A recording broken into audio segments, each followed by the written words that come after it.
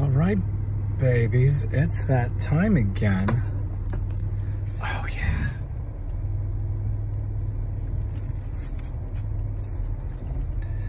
We are in First Corinthians 10.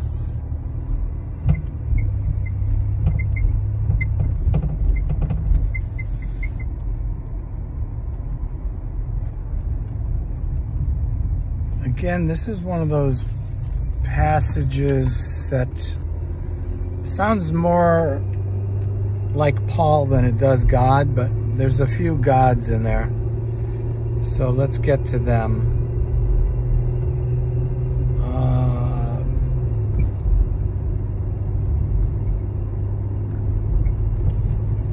Paul basically goes on at length and that's what I mean about sounding like Paul and not so much God. If you notice, God gets to the point when he has something to say. He's not one for verbosity like Paul. Um, can be.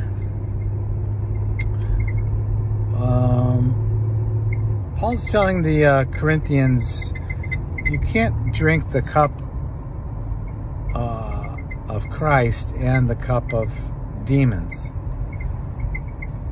You know. So stay true to who you are. If you're connected to Christ, let him be your source. And put away all idols, things that are get in the way of Christ being the ascendant one in your mind, spirit, body, and soul. Uh, what else does he say? Um,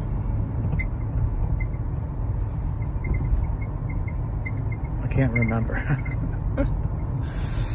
so uh, I'm just going to pass on that you're basically getting the gist of it.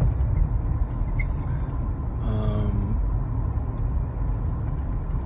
oh, the other piece, yeah, the other piece is like he explains how, you know, if there's something that you're doing that you think is going to cause somebody else to falter, for instance, you have no problem doing it, but you know they might have a problem with your level of freedom, then he's just saying don't do it in front of them. If you're free to do what you do and you have the the confirmation from the spirit to stay that way, then stay that way. That's part of freedom in Christ.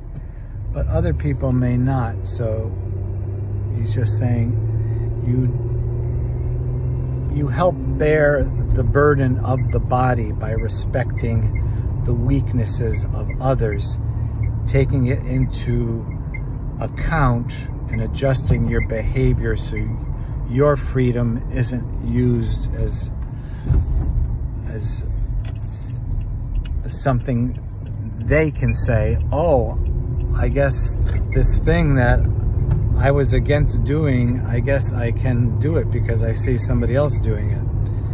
Because then it gets away from their relationship with God. It has to be our patterns of behavior and our choices are based on what we believe God is um, not only allowing, but um, finds expedient for us to do. So it's one thing to say, well, I can get away with this, but it's another thing to say, is this the best thing for my growth? So yeah, that's something only the individual can um, can identify. Uh, so yeah, that's it. Stay thankful, stay holy, Stay true. Stay immersed. Oh yeah, baby. Immersed in Jesus.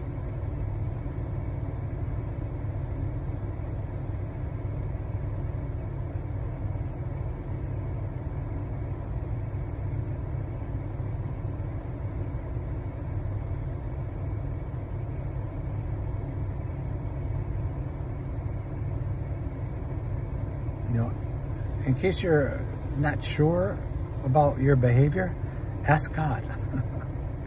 He'll let you know. And then if it's if he's asking you to do something difficult, then ask him to help you with it. Yeah. Believe that he's going to help you with it. Trust him to help you with it. Seek him with your whole heart.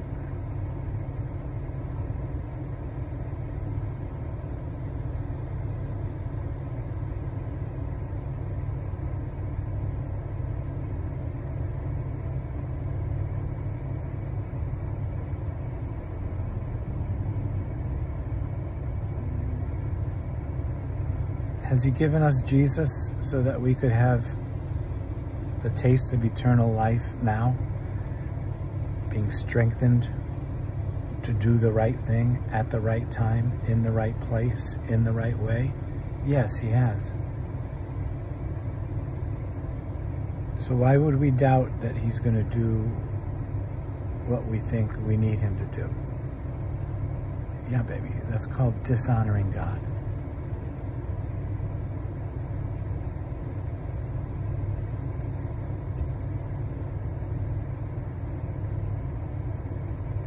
Make him joyful. Make him rejoice in your behavior. Yeah.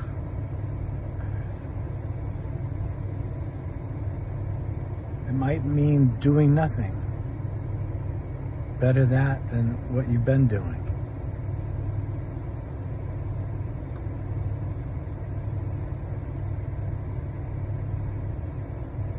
It might mean being quiet instead of blabbing.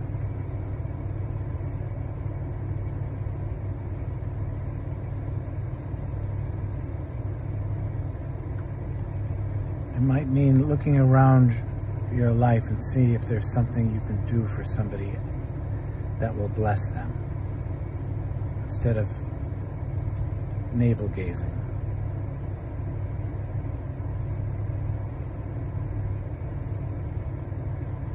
It might mean opening up the Bible and finding something in there that's useful. And you keep reading until you find it. Instead of saying, yeah, I'll get to that one of these days.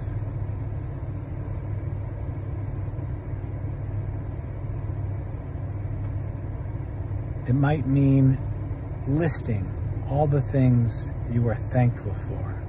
Everything the blue sky, a cool breeze, the taste of Lucky Charms, whatever it is, thank Him for it and don't stop until you can't think of anything else. Instead of, oh, God knows if I'm thankful or not.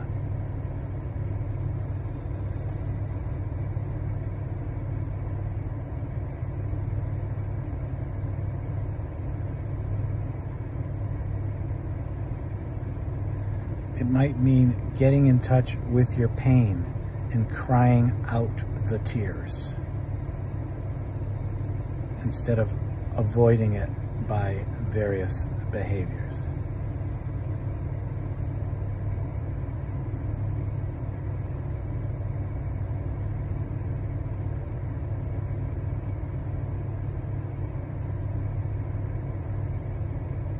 It might mean writing down all the things you believe God to be. And then also listing down all the questions you have about God. And then trusting Him to answer and respond to what you've written, both in confirming what it is you believe Him to be and Him helping you trust Him for the answers to the questions that bother you most. Whatever it is, get to it, baby.